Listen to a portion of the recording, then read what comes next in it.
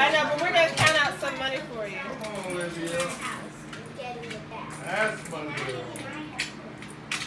Come on, Olivia. Oh, All right, people. So we gotta good so you can get it back.